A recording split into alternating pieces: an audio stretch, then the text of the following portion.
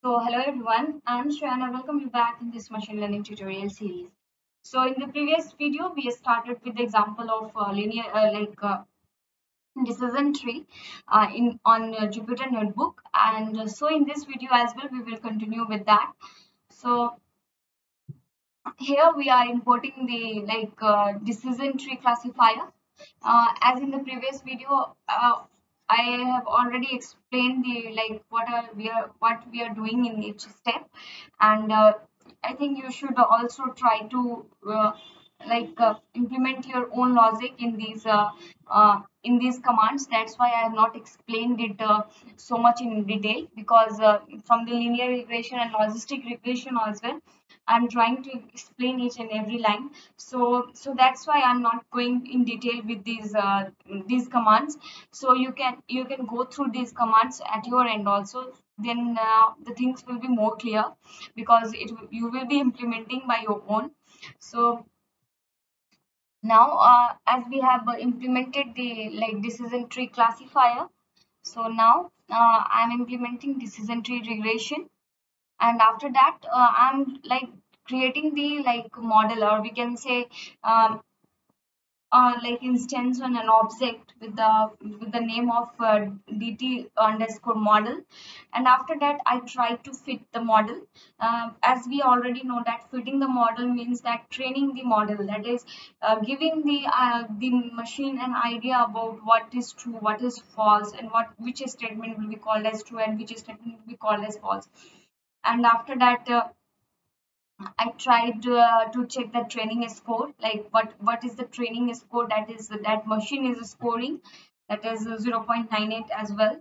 And uh, talking about like uh, on the validation score, uh, checking the result on the validation score as well. Like um, I think if that is the, the checking the tra training score is that how much result is true in the training score that is the actual the actual results is how much true. So it is 0.98 and talking about validation score it is how much correct is uh, 0.75 after that we applied the prediction on the validation set that is test set. Uh, validation set is similar as the test set. And after that uh, we saw the results in 0 and 1 as you can see and 0 and 1 basically says uh, exactly what we have studied that uh, classifier yes and no. And after that i tried to like store uh, the predicted values uh, with one column uh, with taking the one column. And uh, after that i tried to like append it using the uh, different uh, commands of uh, like length and the like with the help of like array i tried to like give uh, implement it uh, on a tree. So after for that i have uh, like i have used this command. And after that uh, i have tried to like uh, import the accuracy score that how much accurate our machine is. So for that i have like compared the y valid with y new. And we got that we are getting 0.75 accuracy in the result. And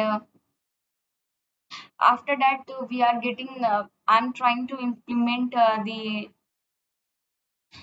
like on the basis of the training accuracy i'm trying to know the depth like what what is the maximum depth that a that a like uh, result should get. The, as we already know a tree contain a depth like from the root to leaf or from the root to intermediate node there is a difference like uh, in the depth. So for that i have tried to implement with this with this command and uh, after that also i tried to get the data in the frame frame uh, look. And uh, and as you can see uh, here also uh, we have the maximum depth that uh, a particular train like train account or we can say test account can have is 1 2 3 4 5 which means that it will be in the root node and this will be in the like child of the root node. And after that i tried according to the like uh, according to the maximum depth and the depth of the tree and the performance uh, and i tried to plot the plot um, the train set and test sets or we can see the valid set valid set. So you can see we have a blue color shows the train set and uh, and the the orange color shows the valid valid test okay? And uh, as you can see the difference between these are uh, with, with the range of 0.050 for the performance rate. And uh, after that i tried to implement the decision tree classifier and i tried to fit the model um, again. And after that uh, i tried to again know that like uh, what is the score on the uh, decision tree classifier. And after that I, I checked the validation score and uh, again I imported the uh, sklearn tree and after that I installed uh, uh, and for that this is the command.